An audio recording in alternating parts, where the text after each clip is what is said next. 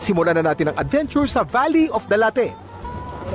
Isa ito sa pinakasikat at eco-friendly destination kung saan pinapakita ang pamumuhay ng mga sinaunang Chamorro. Pero bago makarating sa Valley of the Late, kailangan munang mag-cruise sa Talofo at Ugum Rivers. So ngayon, we're going back in history today as we explore Guam.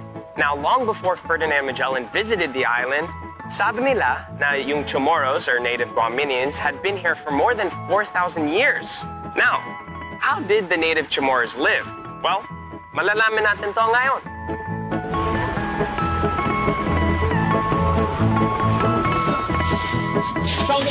Teka Will, bakit bumaba ka ng bangka? Show me the Chongo moves. How do they do it in Guam? Show them late. Ah, papakitaan ka pala ng tour guide natin kung gaano siya kabilis umakyat ng puno ng buko. What the heck? What is... Daig ang chongo moves mo, Chong. Sakto sa mainit na panahon ang masarap na bukong yan. Pahingi naman ako. Aray! Masakit yun, ha?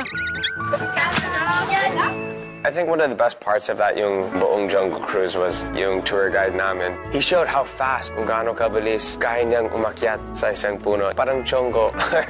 Talaga, it was crazy. Makalipas ang ilang minuto, ito ng ating destinasyon. Welcome to the Valley of Late. Ang lugar na ito ay isang representation of how the Chamorros used to live back in the day. Now, ginawa nila ito para sa mga bata para alam nila kung paano yung buhay back then. Ang tanong, ano ba naman isang latte? Well, hindi naman ito kape. Ang latte ay ginagamit na pundasyon para sa mga bahay nila dati. Now, these are so sturdy that they can even withstand the strongest of typhoons. Ang latte ay binubuo ng dalawang bahagi, ang tasa o cup at ang haligi o pillar. May taas tong 2 feet at maaaring umabot hanggang 7 feet. Gawa ang latte sa limestone, basalt o sandstone. No one knows exactly when the ancient Chamorro built these, pero sa sobrang tibay nila, kahit hanggang ngayon, nakatayo pa rin sila. Dito sa Valley of the Late, tinuturuan din ng mga turista ng sinaunang paraan ng paggawa ng apoy. O Will, subukan mo nga. You know, that's a saying back then, right? If you couldn't make fire, you couldn't get married. I don't want to get married anyway. Naku, baka may magalit. Pwede ko mag-substitute, Daniel Marsh. Y- yung apoy. Sige Daniel, pakitaan mo nga kami. So ngayon, he's so close. Malapit lang talaga. Ah. Sige, kaya mo yan, pare ko. eh. Focus. sweating. Focus. I'm sweating. You're missing. You ready? Sub, go. Sub. Go, go. Go, go, go. Go, Go, move, move, move. Tag team.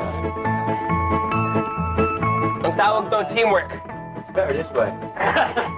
I saw flame. Got it, got it, got it. I saw the baga. Pero di ko kaya ng baga ko. Alright. Kuya Kim, suko na ako. Hindi ko na kaya, pero... Kaya mo ba to? Epic fail man ang paggawa mo ng apoy, Will, okay lang yan.